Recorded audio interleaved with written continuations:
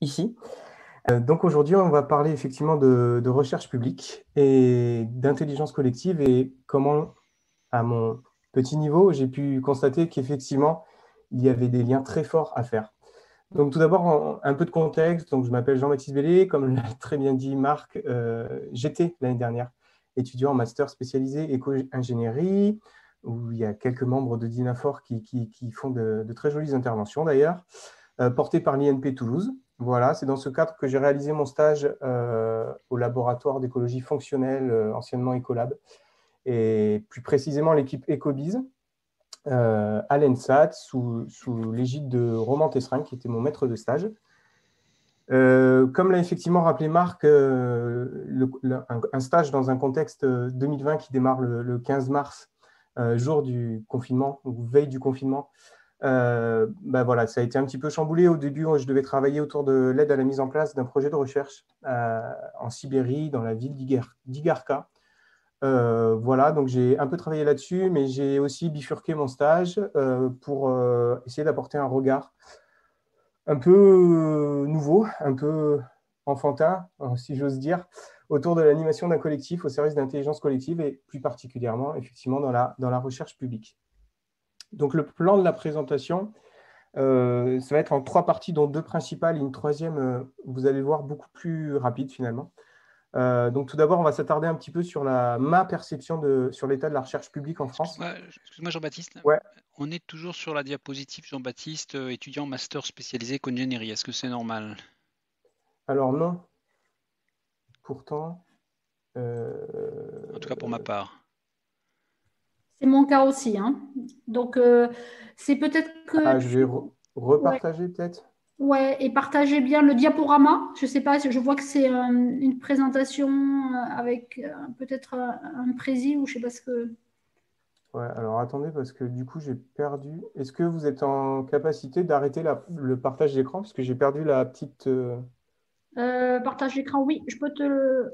Ouais, je veux bien que vous l'arrêtiez, je la relance à la limite. Alors attends. là, il me dit cela arrêtera le partage d'écran. Voulez-vous continuer? Oui. Euh, pour, euh, expliquer à mes petits collègues pourquoi ça bug, il faut savoir que Jean-Baptiste était informaticien dans une autre, euh, dans une autre vie. Donc, quand un informaticien sert d'un ordinateur, c'est normal que ça plante. C'est vrai que je l'ai pas fait dans la présentation. vous arrivez à arrêter mon partage d'écran? Oui, attends, alors moi, c'est en fait, je sais moi qui le prend, mais ah, donc, je vais l'arrêter à mon tour voilà. Donc je te les. Je, le repartage. Voilà. Tu dois pouvoir pouvoir. Euh, Hop. Exactement, c'est revenu. Et donc si tu essayes de défiler, ouais, ça, ça arrive là par contre. C'est bon? Vous voyez bien, vous êtes bien sur le plan de la présentation, etc. Pardon. on a perdu un peu de temps. Ouais, super. Désolé. Euh, donc voilà, d'abord la première partie sur ma perception sur l'état de la recherche euh, publique en France. Euh, voilà, une deuxième partie sur pourquoi et comment penser collectif et qu'est-ce que l'intelligence collective. Et enfin, la mise en lien entre les deux, qui vous verrez sera une, une, une, étape assez rapide. Donc tout d'abord, on va parler de ma perception sur l'état de la recherche publique en France. Un petit peu de contexte euh, sur comment moi j'ai mené ce, travail-là. Donc c'est un travail qui, est plus typé sens social, sachant que je suis de formation ingénieur, que j'ai travaillé pendant 13 ans en tant que développeur web dans des startups euh, sur la région toulousaine et que j'ai repris mes études suite à une prise de conscience, euh, on va dire écologique, euh, socio-écologique, voilà, pour le dire vite. Donc voilà, c'est un travail à petite échelle sur six mois qui est fait d'une part de discussions informelles, d'autre part d'entretiens semi-directifs, plus, plus formels pour le coup, et enfin d'un certain nombre de lectures, euh, enfin de lecture d'un certain nombre d'articles scientifiques. Voilà, ça c'est pour le, contexte. Dans cette partie-là, on va s'attarder plus précisément sur la notion de mode projet de compétition, euh, sur l'évaluation constante. On va parler de discrimination de genre et de race. Donc là, c'est un petit peu la slide euh, qui, en 2021, va peut-être faire un peu jaser, mais on se lance quand même. Et enfin, on va parler de mon tropisme à moi, qui est la start-upisation. Donc, euh, le mode projet, la compétition, euh, vous le savez probablement bien mieux que moi, euh, mais c'est vraiment la, partie qui est très souvent ressortie lors de mes entretiens, etc. ça prend une place relativement considérable dès lors qu'on s'intéresse au travail de la chercheuse ou de la chercheuse en France. ce que j'appelle ici le mode projet, c'est le fait d'être passé d'un financement récurrent des laboratoires à un mode de financement par projet, où le chercheur et la chercheuse doivent monter son projet, répondre à un appel à projet qui sera soumis à une agence. Euh, généralement, je, parle beaucoup de l'ANR. Euh, et avec un taux de réussite qui est aux alentours de 15%, qui est donc euh, extrêmement compétitif. Je vois deux écueils principaux à ce mode de financement par projet. tout d'abord, c'est qu'on le veuille ou non, ce mode de financement il est soumis à l'intérêt médiatique et politique. et enfin, il ne valorise pas forcément la recherche longue et la recherche fondamentale. Euh, pour illustrer euh, cela, j'avais pris l'exemple donc lors de ma présentation euh, en décembre 2020, et c'est toujours valable, malheureusement, de Bruno Canard, qui est un virologue, directeur de recherche CNRS à l'Université d'Aix-Marseille, qui travaille toute sa carrière à travailler sur les virus ARN, dont le coronavirus est. Et en 2003, suite à l'épidémie de SRAS, en fait, il obtient de, très beaux financements euh, qui lui permettent d'embaucher euh, des, des post-docs, des thésards, etc. À partir de 2006, l'épidémie finalement sort du champ médiatique, s'effondre un petit peu, tant mieux. Euh, moins de malades, moins de morts, etc. C'est très chouette. Sort du champ médiatique et de fait, il n'obtient plus de, bons financements. Et il, avait, il avait sorti une tribune au début de l'épidémie de Covid qui s'appelait La virologie est un sport de combat qui paraphrasait Bourdieu. Et voilà, on regarde un petit peu euh, amèrement euh, bah, cette sortie du champ médiatique et donc 14, euh, ans plus, 14 ans plus tard se retrouver avec un, virus et une pandémie mondiale avec un virus ARN. Voilà, la science fondamentale qui nécessite le temps long, pour moi, ne doit pas être soumise au pouvoir politique et médiatique. une des conséquences de cela, c'est la perte de moyens accordés aux laboratoires. Bah, en, glissant finalement d'un financement récurrent au laboratoire par un financement par projet, on réduit drastiquement la capacité des laboratoires à impulser une orientation scientifique. Euh, cette perte de moyens équivaut à une perte de, bah, pouvoir finalement, de capacité d'agir ou d'influence stratégique. Euh, voilà. Une autre euh, conséquence, c'est de fragiliser et de casser la structure sociale du laboratoire. En fait, les chercheurs vont pouvoir réussir à s'autonomiser en obtenant des financements à s'autonomiser euh, par rapport au collectif du laboratoire et on fragilise alors la, relation entre l'intérêt euh, collectif du laboratoire et l'intérêt individuel des chercheurs ou de la chercheuse. Euh, voilà, les chercheurs et chercheuses qui gagnent un appel à projet se retrouvent en position de s'autonomiser finalement vis-à-vis de ce laboratoire et ça peut créer, créer une déstabilisation de la cohésion du laboratoire. Enfin, ça m'a beaucoup été euh, relevé aussi, on assiste à une bureaucratisation, il y a une petite typo, pardon, euh, du travail du chercheur ou de la chercheuse. Euh, voilà, j'ai de moins en moins de temps pour faire ma science, je passe beaucoup de temps à rédiger des appels à projets, etc., à faire des tâches administratives et ça a des conséquences à minima sur la répartition du, la répartition du temps de travail. Tout ceci, moi, j'y vois comme conséquence euh, fondamentale et essentielle, c'est une perte de lien entre les chercheurs, et chercheuses au sein euh, du, avec l'équipe qui l'entoure au quotidien, en tout cas, et, nous allons revenir dessus. Une des grandes problématiques que j'ai, ou problématiques, ou en tout cas écueils que j'ai pu relever lors de mon stage de neuf mois, c'est l'évaluation constante et euh, la mesure de la performance individuelle qui a été faite au sein des laboratoires. Donc là, je passe rapidement sur l'indice H et l'impact factor que j'avais expliqué lors de ma soutenance de mémoire, que vous connaissez bien mieux que moi, euh, voilà, avec euh, des écueils et des défauts qu'on peut relever. cela favorise les sujets d'études globaux et sur un temps plutôt court, ce qui ne favorise pas les sciences humaines et sociales, par exemple, qui sont sur un temps plus long. Ils sont plus quantitatifs que qualitatifs. Le chercheur ou la chercheuse aura plutôt intérêt à parfois euh, diviser en deux publications son travail plutôt qu'une pour augmenter sa performance. Et il y a des notions de contrat entre les chercheurs et les chercheuses pour se mettre co-auteur, co-autrice euh, des publications. Voilà, et puis ça, ça, ne reflète finalement pas la dynamique et la complexité du travail de, la chercheur ou de la chercheuse. Euh, ce que je voulais faire ici, peut-être plus, plus, plus en profondeur avec vous, c'est revenir sur le, sur, sur le cadre idéologique qui sous-tend une bonne partie de, cette mesure de la performance qu'on appelle, et de l'évaluation régulière qu'on appelle le New Public Management. En fait, c'est une idéologie qui, vient de, qui consiste à s'inspirer des méthodes de gestion qui viennent du monde privé, des entreprises, pour les appliquer, les appliquer pardon, aux administrations publiques. C'est le cas de la recherche publique, mais c'est aussi le cas de l'hôpital public et, également de l'éducation nationale. Euh, voilà, en fait, l'idée principale, c'est que les citoyens deviennent des consommateurs. Et euh, l'idéologie repose sur donc les, ce qu'on appelle les trois E, l'économie, l'efficacité et l'efficience. Euh, et la clé de voûte de, ça, c'est la mesure de, cela, c'est le reporting, l'évaluation par des indicateurs de fonctionnement. Il faut évaluer, reporter toujours ce qui se passe. concernant plus précisément le monde de la recherche, je fais un petit zoom sur la stratégie de Lisbonne ça a été un des points de bascule qui a eu lieu à l'été 2000 lors d'un conseil européen à Lisbonne, donc, euh, qui définit finalement la recherche comme un marché. On parle d'économie de la connaissance. Euh, et ainsi, la recherche est vue comme un levier de croissance pour aller chercher les fameux points de croissance qu'on recherche tant, tout. Et, donc, par voie de conséquence, idéologiquement, en fait, la recherche, est placée sous la logique de l'économie de marché. Euh, cette évaluation constante, donc cette injonction au résultat, elle fait peser sur les chercheurs une ambiance euh, d'évaluation constante qui peut être une atmosphère qui peut être avoir une atmosphère un peu pesante et qui peut entraîner donc une, perte de confiance et se révéler comme un manque de confiance.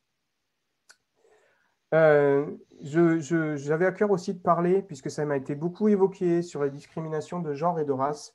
Euh, la recherche publique en France n'est pas tout à fait exempte de, de, ces oppressions.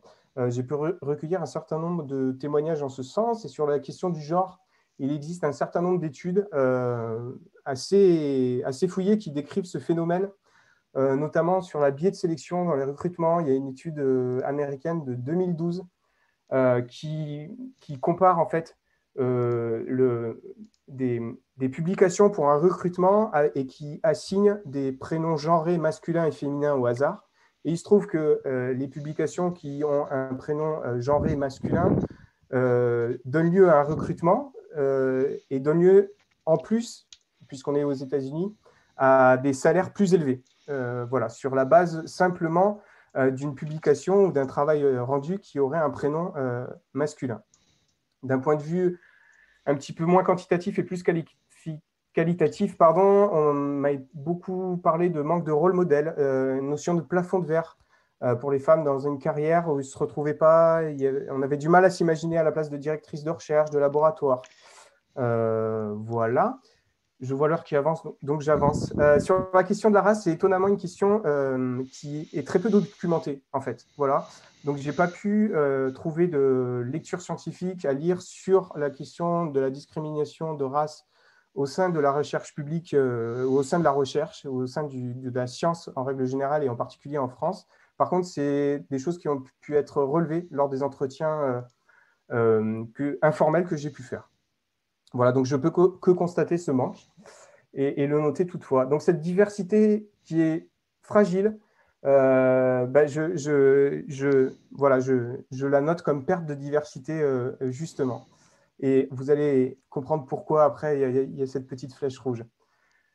Enfin là, ça c'est mon tropisme personnel orienté startup qui, qui, me parle, qui me fait parler de, plus spécifiquement de la startupisation de la recherche publique en France. Moi, j'ai travaillé 13 ans dans les startups et je me suis éloigné de ce monde-là par volonté. Euh, voilà, donc euh, la recherche n'échappe pas à ça. Euh, la société tend vers une startupisation de, voilà, de, son fonctionnement et la recherche publique, à mon sens, n'y échappe pas. Il faut savoir qu'elle trouve son origine il, y a, il, y a, longtemps, où on rapprochait les savants et les marchands afin d'utiliser la science. Enfin, dans les années 70, il y a un terme, il y a un, premier point de bascule, un terme qui apparaît, qu'on appelle la technoscience, où on dépasse le dualisme science et technologie, on passe avant la science expliquer le monde, la technologie souhaitait le transformer. Et là, on passe d'une. voilà, on, dépasse ce dualisme euh, voilà, puis il y a eu une bascule à la fin des années, une autre bascule, pardon, à la fin des années 90, en 1999, avec euh, la loi de programmation pluriannuelle, la loi sur l'innovation et la recherche, pardon, de 1999, qui vise à promouvoir, de faire des chercheurs et des chercheuses des entrepreneurs et des entrepreneuses, et faire en sorte qu'ils et elles doivent avoir l'esprit d'entreprise, l'esprit d'entreprendre. voilà. Ouais. Baptiste, on est resté sur discrimination genre race dans le prési. Ah, mais ça fait le même bug. Mais ça l'a pas fait pendant ma. Je suis désolé. Ça l'a pas fait jusque-là. Si tu peux juste, je sais pas si tu peux œuvrer. Et ah oui, peut-être je peux œuvrer. Oui, pardon, je peux œuvrer, tout à fait. Tac, tac, tac. Ça l'a pas fait lors de mon mémoire, je suis désolé. Euh, je reviens. Alors attendez, je voulais quand même parler d'Emmanuel Macron. Euh, en 2017, euh, bah voilà, la, la start-upisation des esprits arrive à son paroxysme. vous savez très bien que notre président a mené sa campagne électorale sous la forme d'une start-up. Il a œuvré pour, pour cela. il y a une injonction à l'innovation et au solutionnisme technologique vu comme des leviers de croissance. On peut par exemple penser à la 5G, euh, voilà, et au retour de la lampe à huile euh, dans sa fameuse euh, intervention. Et enfin, une citation de, de, la ministre de l'enseignement et de la recherche, Frédéric Vidal, que je trouve assez frappante. C'est, donc je la cite, l'autre enjeu est effectivement d'encourager cette envie de créer des startups chez les chercheurs, de développer leur esprit entrepreneurial dès le doctorat et même avant. Moi, ce et même avant, il me, il me fait un peu flipper, pour, pour être tout, tout, à fait honnête. Et donc, voilà, face à ce solutionnisme et cette technologique et cette transformation de la recherche, euh, vu comme un levier de croissance, vu qu'une marchandisation de la science, moi, je pense qu'il y, a une, conséquence importante, c'est la perte de sens pour les chercheurs et les chercheuses. Voilà, c'était ma partie sur ma perception sur l'état de la recherche publique en France.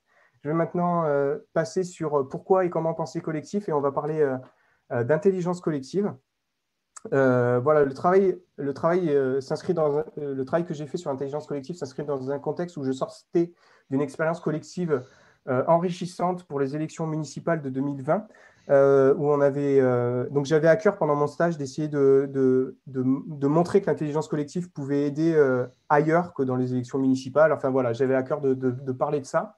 Et enfin, j'ai fait un certain nombre de, lectures d'articles scientifiques sur de sciences de gestion, notamment le plan de cette partie, on va parler collaboration, on va parler confiance, communication et altérité, et enfin réflexivité.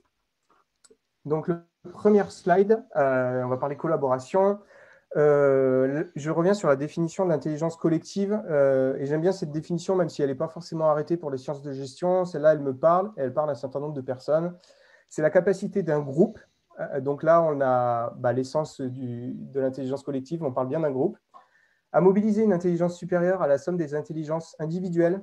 Là, on retrouve l'idée euh, chère à Edgar Morin que euh, la somme euh, des parties et le, tout est, supérieur à la somme des parties. Voilà. ensuite, à faire, réussir à faire converger afin de poursuivre un objectif commun. Donc là, il y a l'idée de convergence. si on parle de convergence, c'est qu'il y a eu divergence. On va y revenir.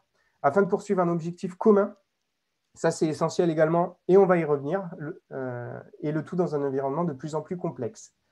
Donc, euh, la question de l'intelligence collective, c'est pourquoi euh, pourquoi, parler de, pourquoi mettre en œuvre les outils de l'intelligence collective? Donc, pour deux principales raisons pour moi.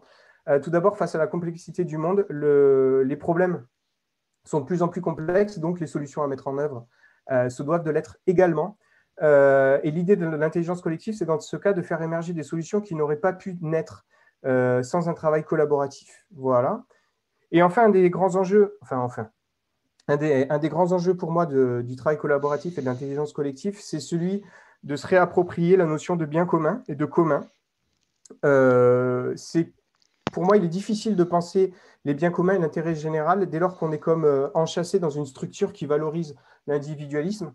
Et donc, pour moi, l'idée, c'est de réussir à s'échapper de ça et de se créer un petit bulle de travail collaboratif. Voilà. Euh, comment est-ce qu'on peut réussir à travailler en commun? Euh, Trois points essentiels. D'abord, avoir un intérêt en commun. Ça, me paraît, évident, mais ça va mieux en le disant. Euh, un travail collaboratif ne réussira que s'il a réussi à correctement définir quel était son objectif commun et si l'ensemble des individus qui composent le groupe est bien aligné avec cet objectif commun. En parallèle de l'idée de collaboratif, je pense qu'il est essentiel de mener une réflexion plus globale et plus générale sur la question du partage du pouvoir. Euh, pour moi, promouvoir l'intelligence collective, c'est par voie de conséquence euh, promouvoir aussi la remise en question de la hiérarchie des structures de pouvoir, et en particulier la, notion de pyramide de pouvoir. Euh, c'est pour moi en bonne partie une question de responsabilité associée. Un individu responsable du bon fonctionnement sera plus enclin à, favori, à, à être positif s'il est responsable lui-même de ce, de ce bon fonctionnement. Et l'idée, c'est de promouvoir des organisations qui sont plus organiques, euh, plus résilientes, euh, basées sur le savoir et les connaissances et pas basées sur la hiérarchie et le, et le pouvoir.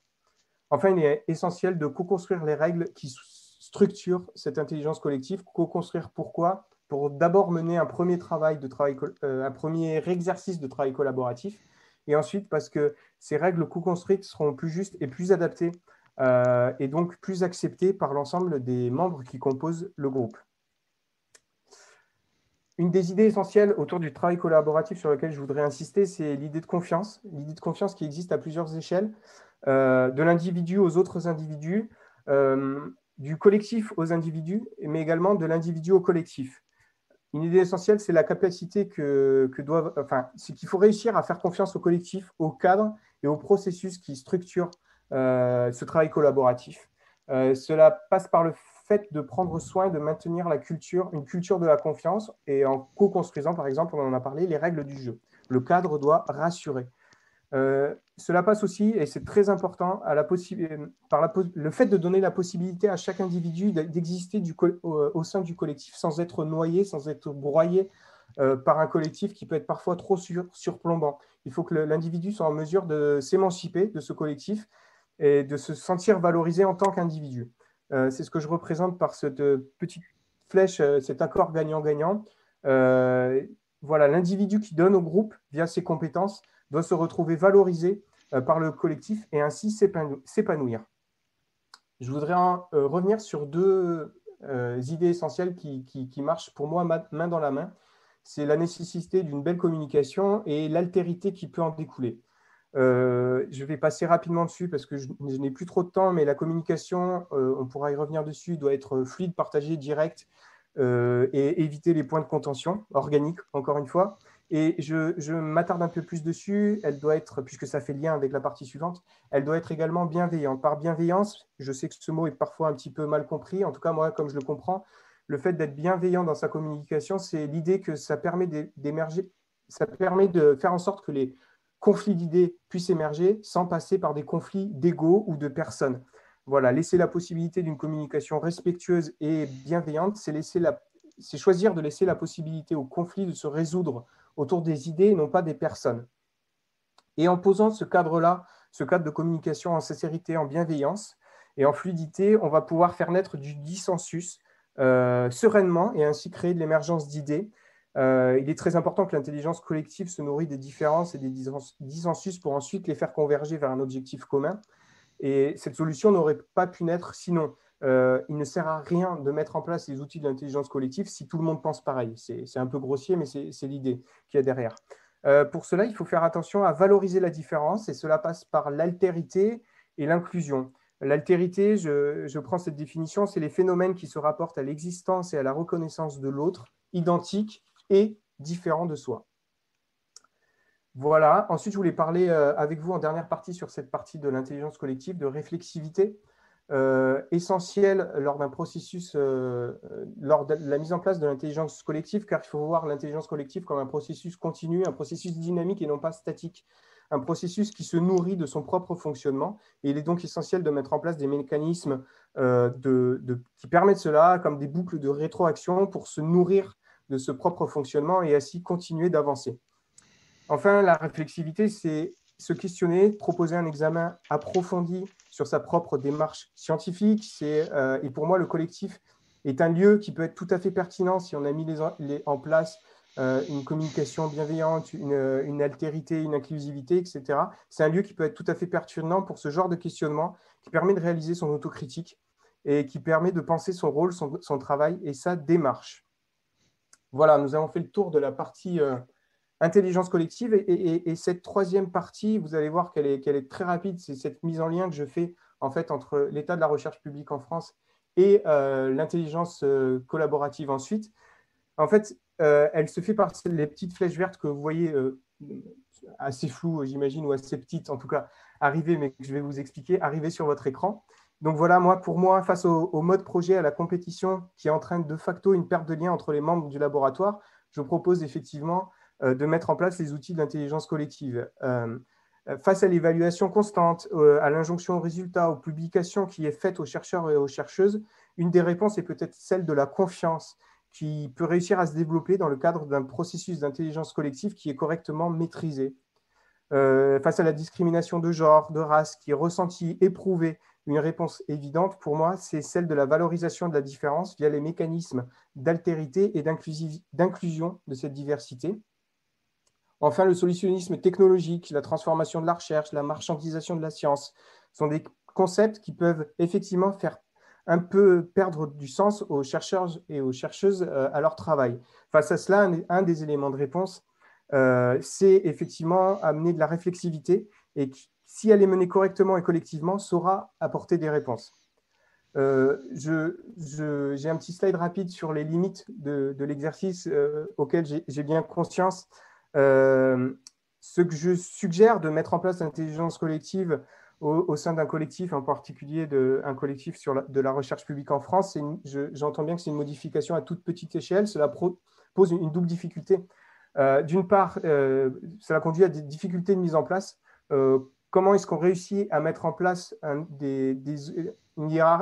plus de hiérarchie, un pouvoir organique, quelque chose qui est plus fluide, etc., lorsqu'on est comme enchâssé dans une superstructure qui n'y est pas forcément favorable? Et enfin, j'ai bien conscience que la portée de la solution est relativement réduite. Euh, elle ne s'intéresse qu'aux problèmes, euh, qu'aux conséquences pardon, euh, des problèmes et pas forcément aux racines qui sous-tendent ce problème. Et il est évidemment très tentant de, porter, de poser une généralisation à ce cadre d'observation que je fais. C'est d'ailleurs ce que je faisais dans la conclusion de mon mémoire. Les conclusions que je tire autour du monde de la recherche publique, compétition plutôt coopération, individualisme plutôt que collectif, sont des conclusions que l'on pourrait euh, aussi tirer à d'autres secteurs publics, comme l'hôpital, par exemple, ou euh, voilà, comme l'hôpital, par exemple. Euh, ben, face aux conséquences de cette société qui trop valorise la compétition et l'individualisme, je fais donc cette mini-suggestion. mettons en place les outils de l'intelligence collective. Voilà, je vous remercie de m'avoir écouté. Parfait, Jean-Baptiste.